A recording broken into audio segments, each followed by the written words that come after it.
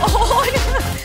มาแล้วมาแล้วคุณผู้ชมค่ะเต้นสนุกมากเลยเต้นกับน้องๆนะคะ ต้องบอกว่านี่เป็นโอกาสพิเศษจริง ๆ ที่เราจะได้เต้นกับน้องๆแบบนี้นะคะ และวันนี้ค่ะฝ้ายจะชวนคุณผู้ชมทุกคนไปวิ่งกันค่ะในงาน Pokemon Run Thailand Charge Up นะคะ วันที่ 26 มกราคม